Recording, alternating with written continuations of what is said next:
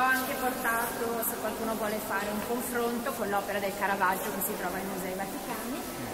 Ehm, e che abbiamo avuto qui qualche anno fa al Diocesano esattamente. Naturalmente anche qui vedete l'impostazione di questo quadro prevede che la nostra attenzione cada completamente sul corpo di Gesù, sulle piedonne, quindi sempre una lettura, ricordiamoci questa cosa.